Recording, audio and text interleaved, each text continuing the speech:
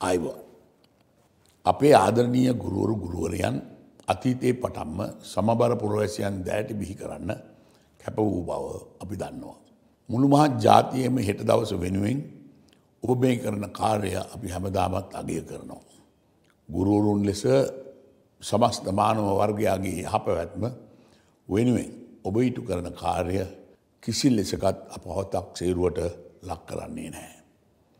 ඒ නිසාම රජයක් ලෙස ගුරුෘතියට ලබා දෙන පිළිගැනීම තවදුරටත් තහවුරු කරනවා. ගුරු ගෞරවය රැක්ක සහ රකින රජයක් ලෙස.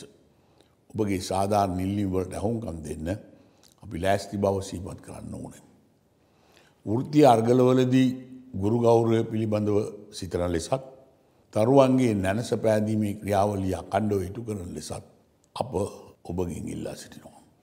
උළු ලෝකයම වසංගතයක් හමුවේ අසරණ වී සිටින අවස්ථාවක පන්තිකාමරයේ සිටි භෞතික දරුවා වෙනුවට නිවසේ සිටින ඩිජිටල් දරුවාට ඉගැන්වීමට ඔබගන්නා වේස කුපමණද කියලා අපි හොඳා කාරොම දන්නවා.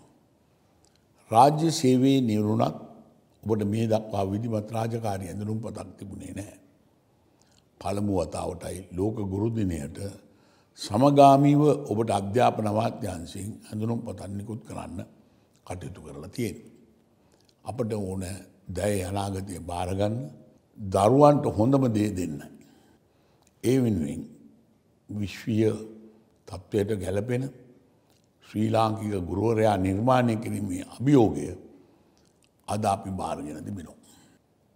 අධ්‍යාපන ඇමතුමා ඇතුළු සියලු දෙනා ඒ වෙනුවෙන් කරන කාර්ය අපි සැමවිට අගය කරනවා. ගුරුවරු වනාහි ශක්තිමත් දුන්දියයි. දරුවන් වනායේ දුන්නේ නැදී මිදී ඉදිරියට ඇදෙන ඊතලයයි.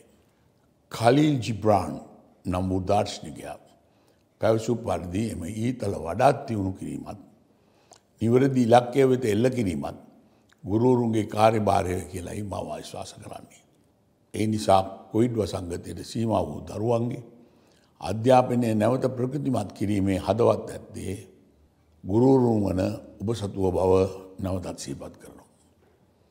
දරුවන්ගේ නැනස පාදමින් දැයක් නුවනින් ඒ කාලෝක කරන්න ශ්‍රී ලාංකික ගුරු පරපුරට ශක්තිය ධෛරය ලැබේවායි මා ප්‍රාර්ථනා කරනවා. ඔබ සැමට නිරෝගමත් අනාගතයක් වේවා.